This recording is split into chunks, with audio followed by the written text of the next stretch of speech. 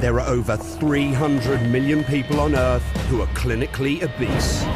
It's an epidemic. Some of them are truly supersized, weighing in up to half a ton. Hmm. This show travels the world to meet these people to discover what life is really like when you're over six times heavier than the average human.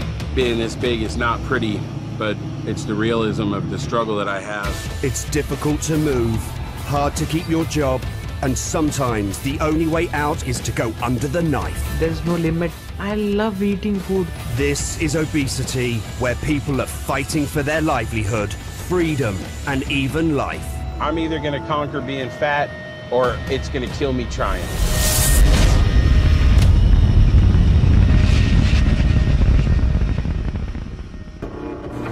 In this episode, Mexico's fattest man, who's been bedbound for over a decade, takes to the streets to warn about an obsession that nearly killed him. que sufra la gente como yo estoy sufriendo, ¿no? An Indian teenager makes a radical decision to rescue his health by cutting out over half his stomach. Totally now, I'm mentally tensed, very much scared about how will the surgery go. And in the USA, a supersized trucker faces a physical exam that could change his life forever. Failure will cost him his job and worse. If he doesn't do anything, he'll die a slow death. No doubt.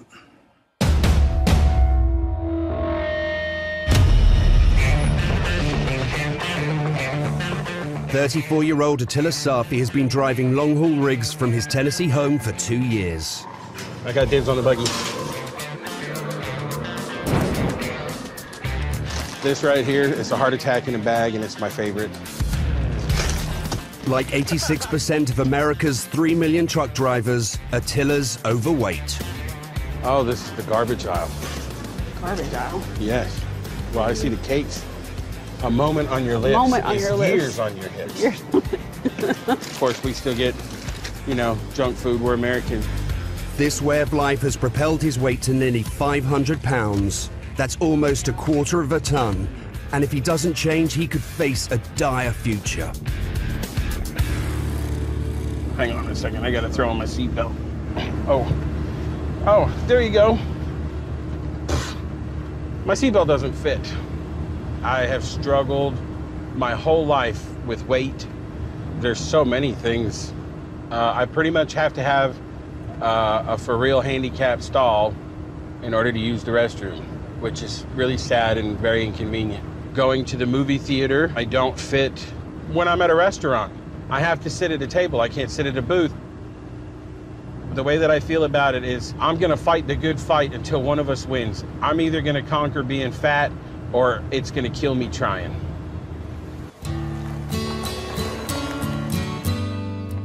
Despite his struggles with his size, Attila's life has recently taken a turn for the better.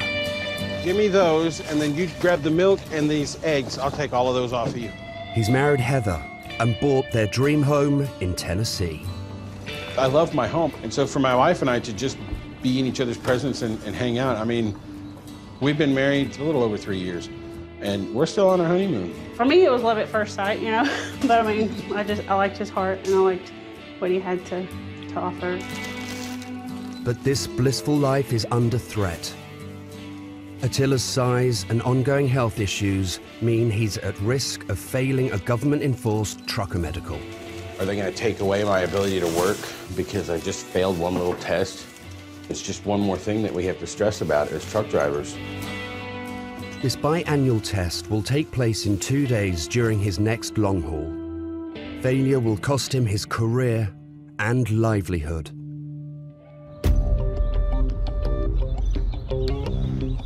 Attila strives to be more active and to eat a healthier diet. But his history of addiction has made the task near impossible. I quit doing drugs and then I quit smoking. Food for me is like a drug. A- anyone who's been an addict would understand my struggle. If you've not been an addict, it's easy to just point the finger and say, well, it's just willpower. It is willpower, but you're matching your willpower against a mountain. With his job on the line, Attila needs to get a grip on his food cravings. taking the skins off of the Italian sausage, and I have buffalo sausage also. But it doesn't come easy. Woo, hot mama. And I ain't talking about you. I, I make good food. You don't get to be this big and uh, not know what you like. This is my job when I cook dinner. Attila often eats over 2,500 calories in a single meal. That's the number of calories a healthy male consumes in a whole day. I took what's probably a pretty healthy meal and made it not healthy by making it better. this right now is me in real life.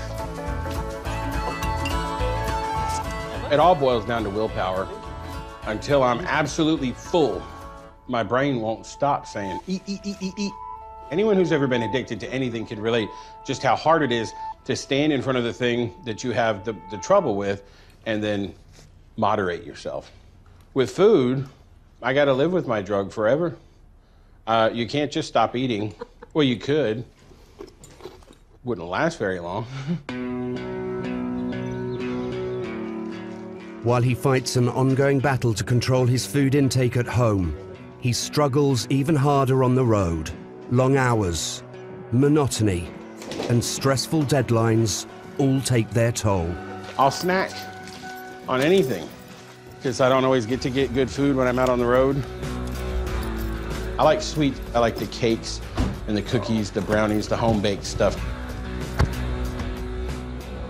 I like the salty stuff, like the chips and the sunflower seeds and whatnot, which are loaded with salt. You kiss.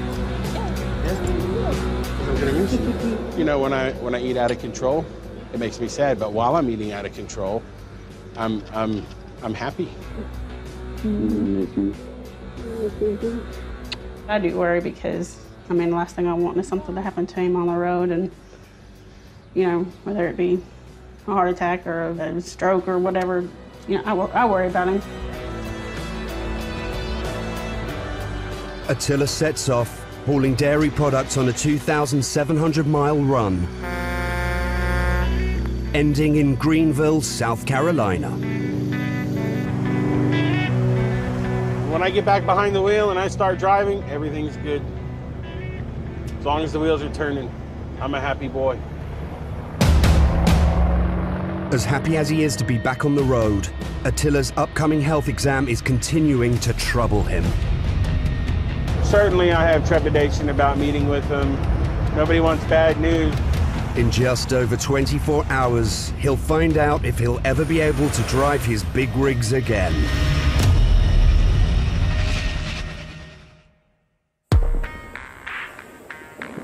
Forty-eight-year-old Manuel Uribe, Mexico's heaviest man, is preparing for one of the most important days of his life. Nicknamed the half-ton man, Manuel is about to leave his home for the first time in six months. Ándale, tráete el jabón para, para bañarnos. He'll be taking a huge gamble with his health to spread the word about the disease that nearly killed him and still could. Yo llevo 12 años en una cama y no quiero que ya haya obesidad. Completely immobile, Manuel must rely on family and friends for round-the-clock care. Hacemos esto, hacer un, bañarnos y prepararnos, ¿me entiendes? Como si estuviera en un hospital, usar un bidel, usar un bote para hacer pipí, hacer del ba bañarme, todo eso, claro, lo extraño. La gente a lo mejor que tiene un cuerpo normal ni siquiera ha notado eso. Making life even more uncomfortable is an invasive bacterial skin infection the locals call disipella. disipela que le dio, ¿verdad? Le dio tres veces la disipela seguido, entonces lo dejó bien aporreado y con úlcera. Es un dolor muy doloroso. Esto es células muertas de la piel. Se ve feo, pero yo no camino porque pues tengo muy grande esto y tú sabes, es, mu- es mucho peso de- para mis piernas. Seven years ago, Manuel became the world's heaviest man alive at just over 1,200 pounds. Although chubby as a child, It was in his 20s when his weight spiraled out of control. Y la verdad es que de joven, tú sabes, cuando uno está en la etapa de adolescencia, no era obeso. Pero algo que pasó, yo creo que en el 88 fue que me fui a Estados Unidos y allá cambió mi vida. Comía mucha pizza y mucha, mucha soda de, de, de litro y así. Estaba engordando muy fuerte, muy rápido. Pues no lo sentí hasta que ya tenía 300 y pico de kilos y así quedó. Entonces pasaron los años y yo seguía engordando hasta que me tuve que venir a México, ¿me entiendes? Por, por el- también por la obesidad. By 2001, Manuel could no longer walk.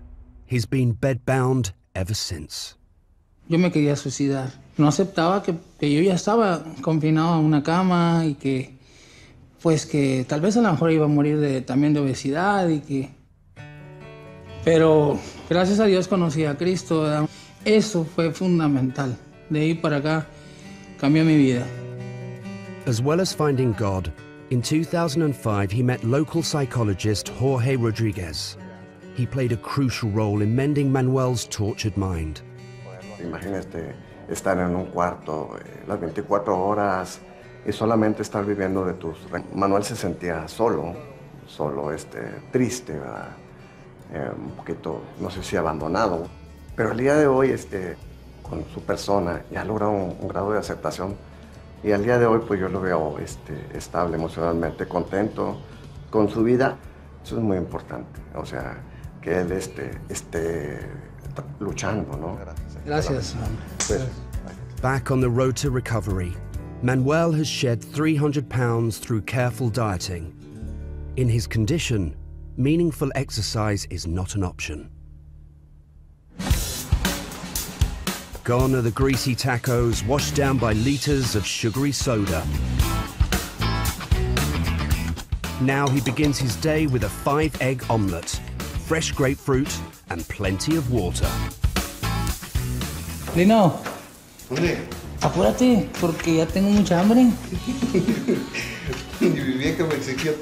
Uy.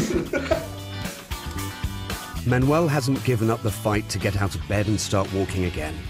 This is not only vital for his self esteem, it'll help him with a new crusade to use his tragic story as a stark warning against obesity. Hmm. Mexico has now overtaken the United States as the fattest nation on earth, with 70% of adults overweight. Nos hicimos muy también a la idea de los Estados Unidos de comer comida. ¿Por qué? Porque las grandes cadenas de, de comida rápida ya entraron a México y ese es el problema. Even more worrying, Mexico is the world leader in juvenile obesity.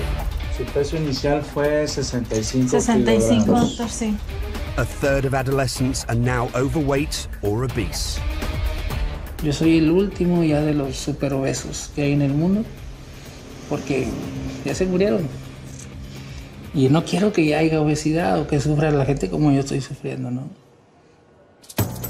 To make sure this happens, Manuel's arranged to speak at his local church about the dangers of obesity. But nothing about this trip will be simple, as he has to travel in his bed. Por si si acaso, Outside, it's over 40 degrees. The searing Mexican heat will place his body under great stress and play havoc with his diseased legs. como si fuera un... Ay, ay, cuidado con la herida, no me escuches eso. Ahí está. Sí, ¿Así, así está bien? sí. ¿Está bien? Sí.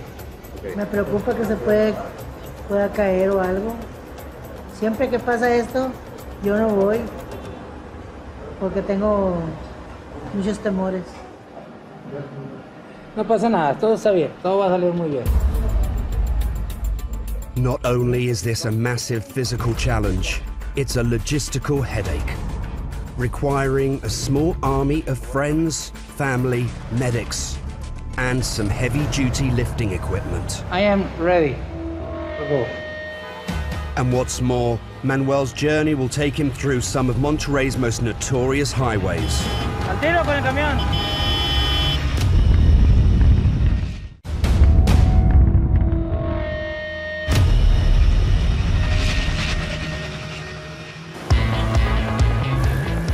Pune, India, home to 19-year-old Vedant Mongi. He may not be in the same thousand-pound league as Manuel, but given his age and bad eating habits, he's heading right down that path. I love eating food. There's no limit. I just cannot stay away from eating anything. The street food is it it's very oily food and it's very yummy, spicy Indian food. He's already contracted type 2 diabetes linked to his obesity. Knowing the risks this diagnosis brings heart attack, kidney failure, and even amputation he's going for stomach reduction surgery. It may sound extreme, but in India, this has become a regular occurrence. Very much scared about how will the surgery go. Where will it be? Everything will be okay or not. As he approaches his life changing operation, a temporary distraction is the Ganesh Chaturthi celebrations erupting around him. The September festival of the elephant headed god is one of the most important for this area of India and is comparable to Christmas in the Western world. It is very special part of the year where everyone goes around, just enjoy themselves, just dancing all over the city. And it's, it's quite a very memorable time of the year. Mainly because, for many, celebrations revolve around food. Tons of food. Normally, Vedant would be gorging on these oily street snacks. But a strict pre surgery diet means it's all off limits. Tempting, very tempting.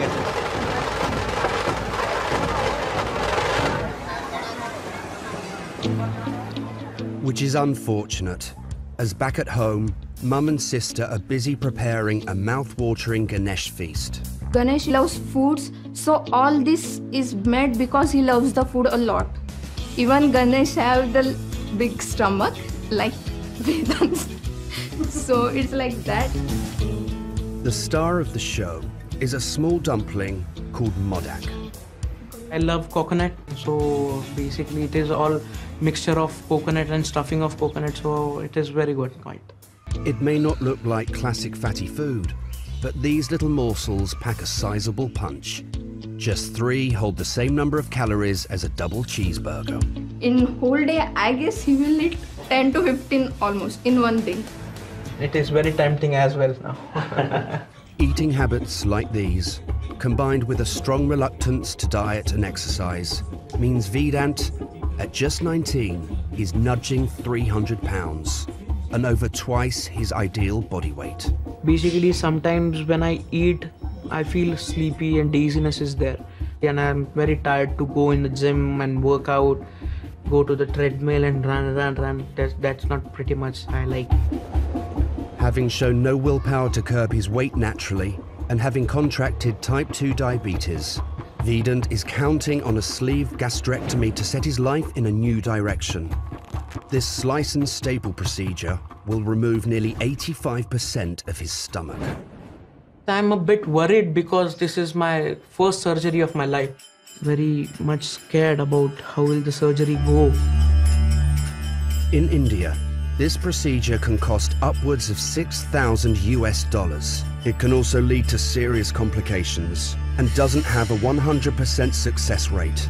But for his parents, trying to protect Vedant's future is worth the risk. One side we are very happy that he something will happen and something will change in his life, physical point of view, and which will help him his future. And the other part there is some tense because this is first surgery in our family also. So we are worried about it.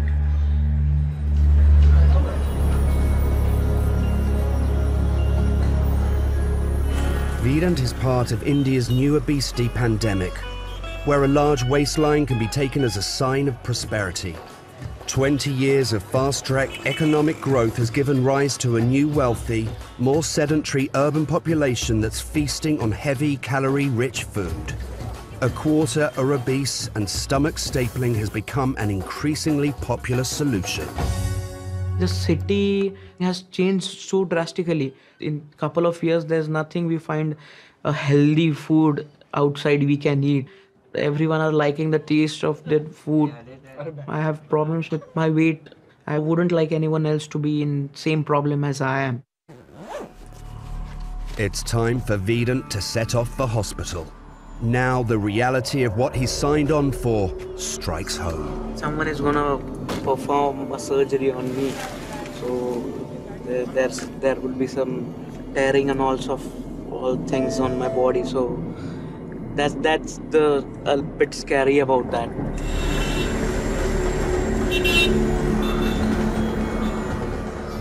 In 2012, Indian surgeons performed 15,000 bariatric procedures. That figure is expected to double in two years as Indians increasingly look for a quick obesity fix. Vedant is hoping to resolve his obesity and diabetes through the skills of one of India's top surgeons, Dr. Shashank Shah. 10 years back, maybe I was doing 100 operations a year. And now over 10 years, I'm doing probably 100 operations a month. Typically, Indians have much more fat at a body mass index. Over centuries, they were undernourished. So genetically, the body was designed to live with lesser calories. And now when the same generation is exposed to calorie-dense food, much less activity, and if you look at them, even though they don't look huge, but they have a very large percentage of fat, and that is why India is a global capital of type 2 diabetes. It's unfortunate truth. you wanna hug him? Surgery is often the last resort, so it's an extreme decision. Vedant's nerves are kicking in. Afraid of the surgery, but afraid that my body will get stitches for the first time. Feeling very tense now. Heartbeats are bouncing up.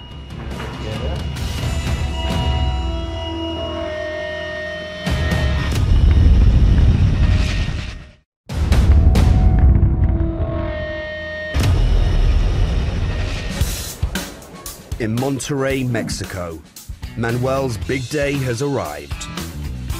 Mexico's heaviest man will be leaving his home for the first time in six months. Vaya que necesitaba un... But he won't be leaving his bed. It's a place he's been stranded for over a decade. Yo llevo 12 años en una cama, como si estuviera en un hospital. Hacer del ba bañarme es difícil, ¿no?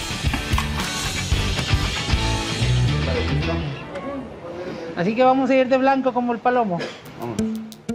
With Manuel bedbound, a complex removal operation has been mobilized, using a team of friends, family, paramedics, and even a forklift.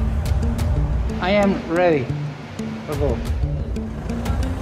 Manuel's making this monumental effort for a speech, organized with his local church, about the dangers of obesity. Bueno, yo pienso que hay un problema muy grande aquí en México. La misión del día es para que no haya tanta obesidad, o que sufra la gente como yo estoy sufriendo, ¿no? Manuel and his bed will be traveling on a specially modified vehicle, named after his nickname, Meme. But with new modifications to the truck, increasing its size to 9 feet across, it'll be extremely hazardous maneuvering through Monterrey's busy streets in 40 degree heat. Porque como nunca ha salido con las, con las alas abiertas, puedo pegarle un carro. Fitting the bed correctly is vital. If it slips off while he's speeding along, it could be fatal. Ahora sí. Ahí está bien. Ahora sí, hacia abajo. Oh, ya. Ahí siempre ya. Ya, ahí bájalo ya. A ver, dale, sácalo. ¿Está libre? Ahí ya. Está, está libre. ¿Eh? ¿Ya?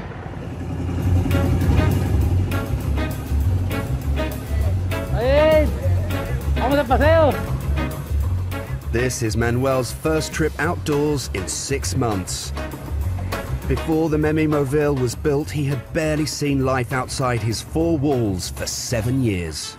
Se subió a este meme móvil. Me acuerdo mucho que Meme me decía, verdaderamente hoy entiendo lo que es la, la- la naturaleza tan hermosa que antes yo no miraba. Entonces, pues para Meme fue algo muy, algo nuevo. Parecía como niño. ¿verdad? Tiro, el tiro con la ala. Está muy pegado el... el tiro con el camión. Muero de hambre. On the way, he calls a pit stop at some favorite food halls. Buenas tardes, bienvenidos. Ah, me da una orden de una pizza grande. Una hamburguesa doble y unas papas. Manuel's famous in these parts. Ándale. The locals always eager to meet him. Ah, gracias. Voy a ponerla aquí. Ah, ok. Dale para atrás, para atrás, para atrás. Unos tacos para llevar. Eventually, Manuel reaches his local church.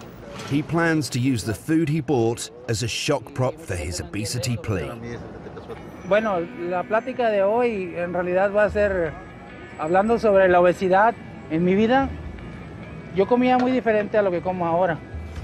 Yo me podía comer un día normal una pizza, refresco de dos litros, unos tacos, una hamburguesa doble y con papas.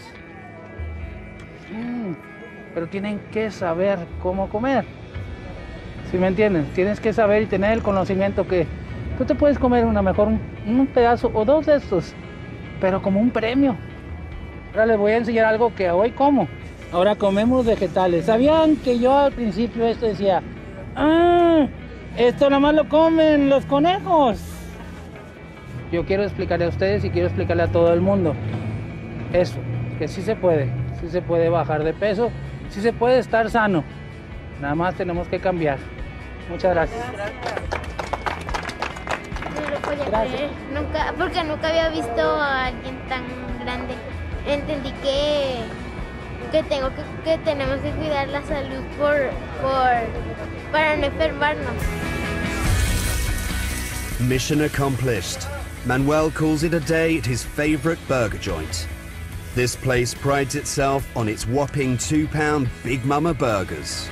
Mm, huele bien. But Manuel's devised a healthier way of eating his. En una hamburguesa lo que te hace daño es el pan. Entonces, las cadenas que venden hamburguesas pueden hacer esto sencillo. Yo no digo que no coman, pero que coman sano. After years of fame from being fat. Manuel's determined his legacy will be for fighting against fat. Mm. Mm -mm. While Manuel fights obesity in Mexico, Attila Safi is fighting for his job. It's a tense time, and a good night's sleep won't come easily. Being this big is not pretty. It's not exactly pretty when you have to wear something like this in order to go to sleep.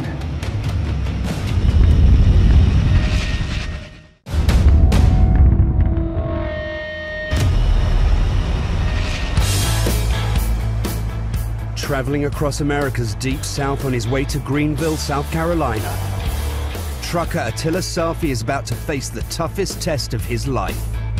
With my job, there's government restrictions. Uh, they're afraid that we're a health risk.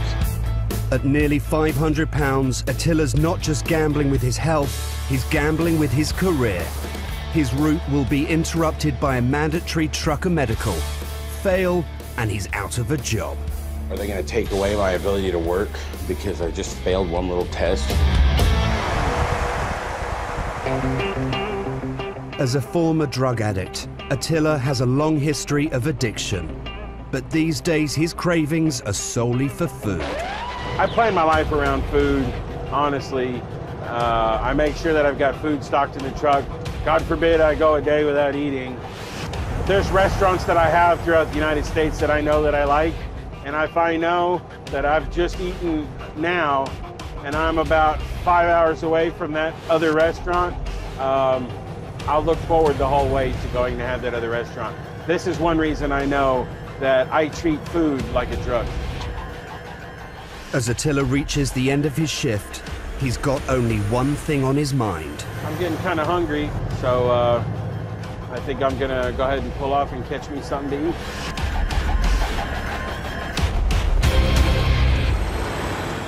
Every time I step out of this truck, I know people are watching me.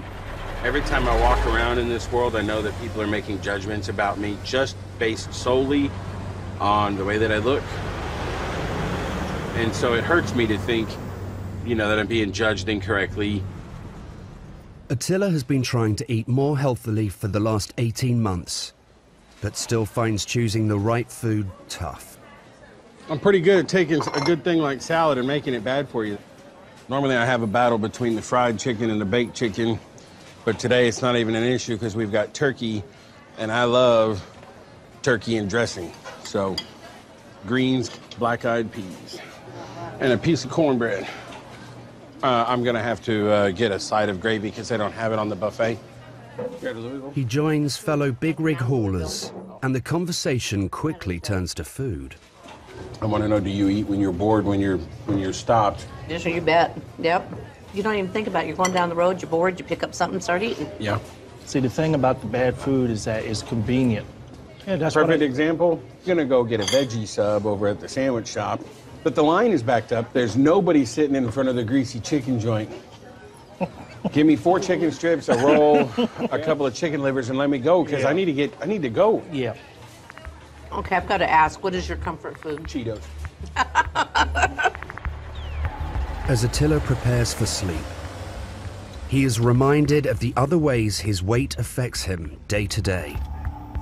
This machine right here, it's called a CPAP. It stands for uh, continuous positive airway pressure. What it does, it keeps air flowing into my nose and into my lungs. One bad thing about being this big is um, uh, as your neck gets bigger, uh, the weight while you're sleeping, it, it relaxes your throat and it'll cause it to collapse. but it's the realism of the struggle that I have. It's being this big is not pretty. It's not pretty when I'm walking around. It's not pretty when I'm eating, and um, it's not exactly pretty when you have to wear something like this in order to go to sleep. But I put it on, and it does its thing. And it is actually forcing air up my nose right now, which is why I'm talking funny. Attila suffers from sleep apnea that's linked to his obesity. If he didn't wear the mask, he'd be more at risk of dying in his sleep.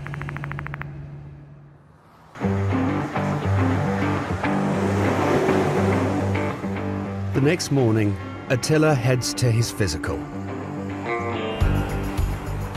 Every two years, truckers must prove they can safely operate their vehicles and don't have a condition that could incapacitate them. Attila doesn't even know his true weight. Uh, to the best of my knowledge, I weigh 480 pounds plus or minus 20 pounds because uh, the only scale that I have found that weighs me is built to weigh trucks. And every time I've done that, it says 480 pounds. They weigh in 20 pound increments, so it could be somewhere between 460 and 500.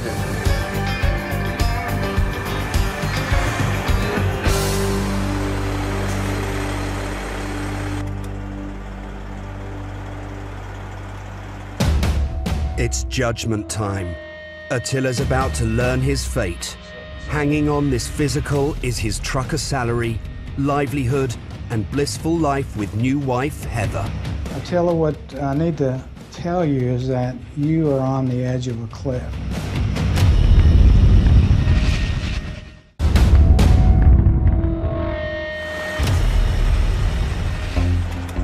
Trucker Attila Safi has just interrupted his run to take in a mandatory government enforced physical that could change his life forever. If he fails, it'll cost him his career and livelihood. nervous.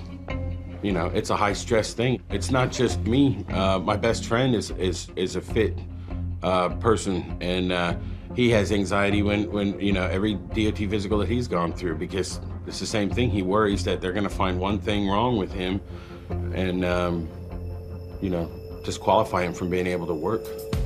First up, the medical assistant takes Attila's body function readings. What I need you to do is just go in there and give me what you can bring it out when you're done, sir. Okay, appreciate it. Step on up there, sir. We're gonna check your body mass index real quick.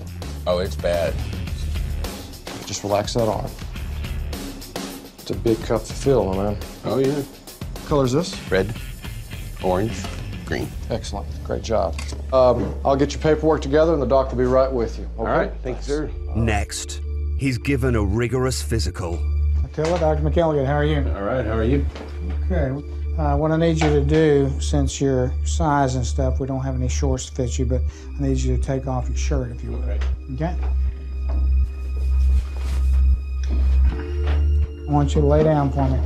I'm never gonna get back up. Breathe quietly. I'm going to listen to your heart. Relax your stomach. That's easy for you to say. Now bend your knee up for me. Bend it. Straighten it. Now let's sit up for me. That's pretty good. I want you to squat down like this as far as you can. Now hold it. Hold it. Finally, it's the moment of truth. You can get up and off the table. You can hold a squat. You got good prehension. You are safe to drive. Thank you. You're welcome. Okay? Uh, so what exactly did I weigh? 480. 480? Yes. Going for you. Attila can carry on trucking, but that's where the good news ends. Attila, what I need to tell you is that you are on the edge of a cliff. And if you continue to gain weight, you're going to probably die uh, before you reach the age of 50. But you've got time, and you could actually make it and lose it. It's like you've got to win the Super Bowl this year, buddy. It's going to take a while to get it off you, but you can do it. Amen. You're young enough to do it. Hopefully, I'll see you again next year. Okay, thank you. Dr. John McElligott specializes in truckers' health. He's very aware of the importance of keeping them fit and productive. You have to remember about the truckers, they are the heartbeat of America. You stop the trucks, and this whole economy collapses. You know, it's just such a big population, it's hard to deal with. It's like the size of a, a small New York City to try to get all the truckers to, to get healthy. Attila is rehabable for a big boy. He's either got to do it now or he'll never do it. If he doesn't do anything, he'll die a slow death. No doubt. Simple as that. With the doctor telling me that the average age of death of a large truck driver is in the mid 50s, it's one more thing that I can use to try to propel me forward on, on this journey. It's been the wake up call Attila needed. Now he must use every scrap of willpower to conquer his food addiction and improve his health. Watch your coat. Gives me the opportunity to burn some calories to try and lose weight. I'm steaming. If I let somebody else unload it for me, I'm not burning the calories, they are. And not every place will let me unload at their facility, but the places that do, I'm gonna unload. I'm gonna pursue anything that I think would give me a better chance of success. And there's no shame in trying. If you have to try a thousand times, you only have to be successful once.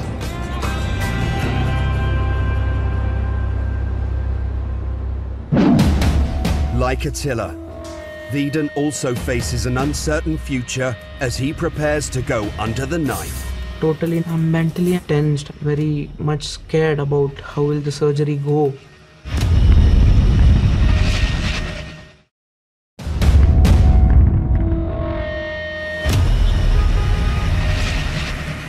In Pune, India, Vedant Mungi is facing an uncertain future.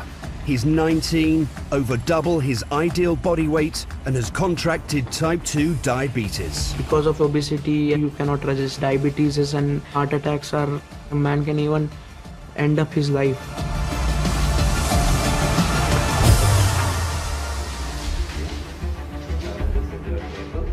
Today, he's following a growing Indian trend by using extreme surgery to try and rescue his failing health.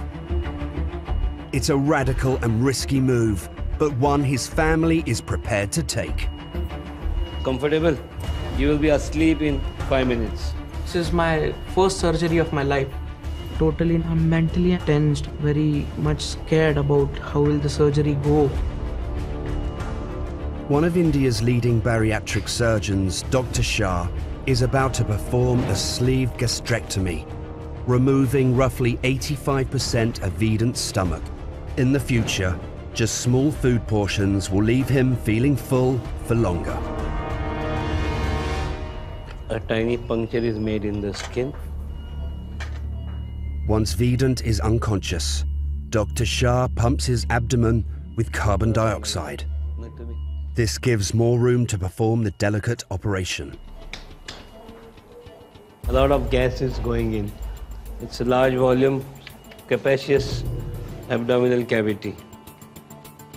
He makes small incisions so that a camera and surgical equipment can enter the abdomen. Now we start by inspection of the liver. The moment I touch, the liver it becomes yellow. That's a lot of fat deposition in the liver. The yellow mass is fat. That's choking his major organs. Before tackling the stomach, Dr. Shah must cut this away.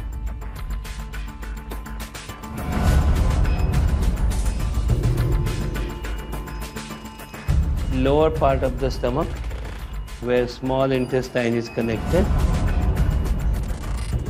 Then the critical moment. So we are almost set to fire. Slicing Vedant's stomach in two. Uh, Now this is a suturing device or what is called a stapler. The gun is fired. The stomach is divided and sealed at the same time with the device. Using his medical stapler gun, Dr. Shah can divide Vedant's stomach from top to bottom.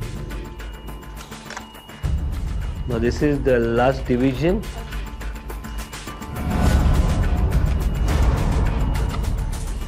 As you can see here, the division is complete. This is the part of the stomach which is removed. Now this part of the stomach can slowly come out.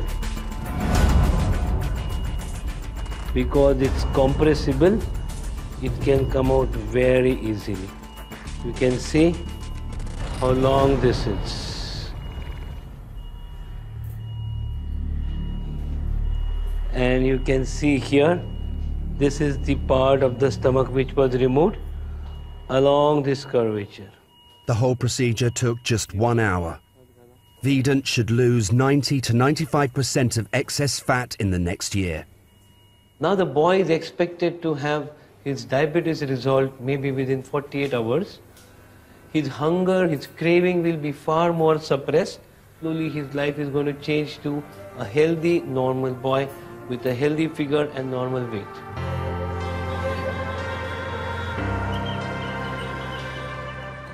Just 24 hours later, Vedant checks out of hospital. It's now up to him to change his habits to guarantee a healthy future. I don't think everyone should go under this.